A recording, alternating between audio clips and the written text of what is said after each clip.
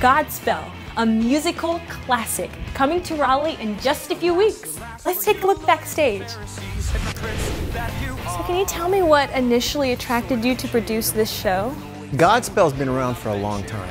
What makes this show a little different than the ones we've done in the past. Most shows are done on a proscenium stage. This show is done in the round, which is a, a really nice way of getting the audience closer to the actors. And it's, it's more enjoyable for the audience to be able to touch that actor. I mean, they're going to be that close to him. Ooh. Yeah. So they get to break fourth wall. There are a lot of things about this show that the audience doesn't know about. We're not going to give it away. So you got to come to the show to find these things out, and they'll enjoy those things too. It'll be a lot of fun. Don't miss Godspell the Musical, June 30th through July 2nd and July 7th through July 9th. Get your tickets now at poiemaac.com.